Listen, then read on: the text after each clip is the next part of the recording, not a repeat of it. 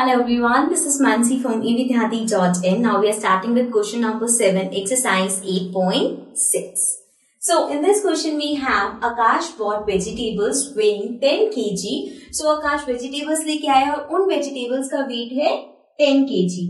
Out of which 3 kg 500 gram is onion, 2 kg 75 gram is tomatoes and the rest are potatoes. So अब वो total ten के जी vegetables लाए जिसमें से three K G five hundred ग्राम है onion to K G seventy five gram है tomatoes and बाकी जितने बचा वेट वो सब पोटैटोज का वेट है। What is the weight of the potatoes अब हमें फाइंड करने की पोटैटोज का क्या वेट है। सो so, इस क्वेश्चन को मैं यहाँ पे जो इतना डिफ़िकल्ट वे में देख रहा है आपको एकदम सिंपल वे में बताती हूँ। टोटल वेजिटेबल्स आई है टेन के की ठीक है? एंड अब ये टेन के में तीन वेजिटेबल्स आई हैं। राइट right, अभी मैं यहाँ पे इमेजिनरी टर्म्स ले रही हूँ ये वाली नहीं ले रही। सो so, अगर मैं कहूँ कि टेन के में से फाइव के मैं अनियन ले आई राइट एंड टू के में लेट सपोज़ पोटैटोज ले आई और बाकी के जितने बचे उसका मैं कैबेज या कोई भी सब्ज़ी लिख लू वो ले आई। ठीक है?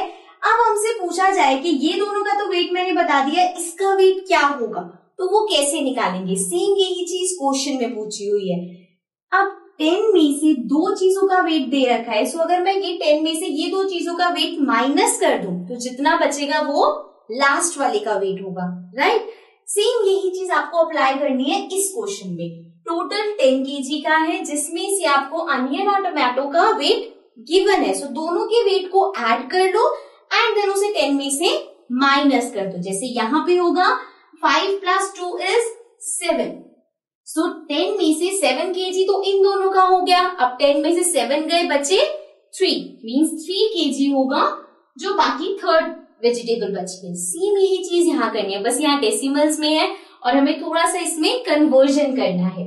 So now the first step जो इसमें होगा वो ये होगा कि जो अनियन और टोमेटोज का वेट गिवन है, हम उसको ऐड कर ले। अब ऐड करने से पहले हमें देखना है कि ये केजी और ग्राम्स दोनों में गिवन है सो so, हमें इसे कन्वर्ट करना पड़ेगा। अब केजी और ग्राम में कितने का डिफरेंस होता है? थाउज़ेंड का। One K G equals to one thousand gram so इन दोनों का रिलेशन है थाउज़ेंड का गैप मीन्स कि अगर मैं इसे डेसिमल में लिख लू तो डेसिमल के बाद थ्री डिजिट्स आनी चाहिए। सो so, मैं डायरेक्ट लिखना स्टार्ट कर रही हूँ एंड देन हम साथ साथ कन्वर्ट करेंगे। So starting with the weight of onion सबसे पहले अनियंस का वेट लिख लेते हैं। So it is given three K G five hundred gram so three point five zero zero already three digits है।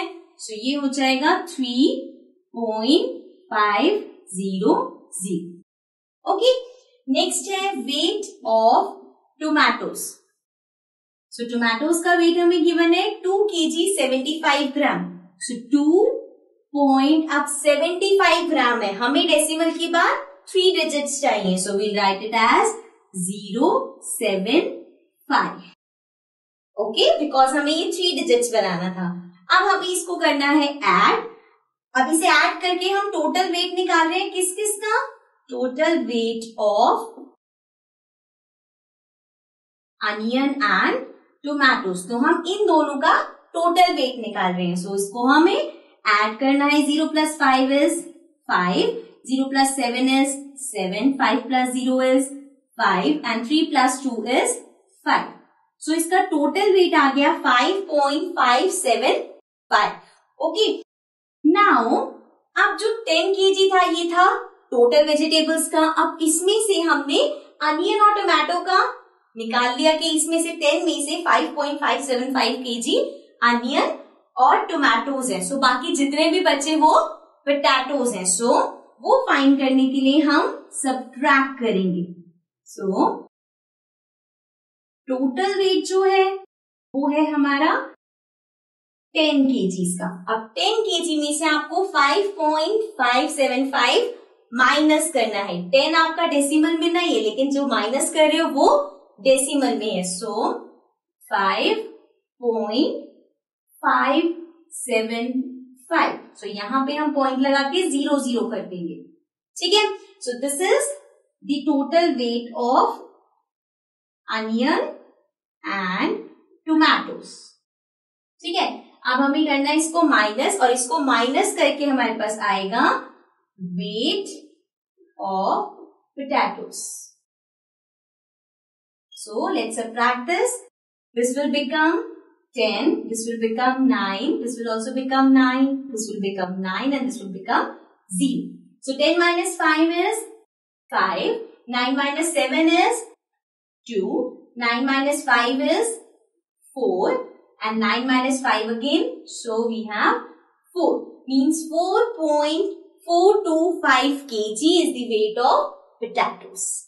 Okay, I hope this question is clear. This was the last question of this exercise and also the last exercise of this chapter. So with this, we complete this chapter. If there's any doubt, any query, please write it in the comments below and also to subscribe our channel. Bye-bye for now.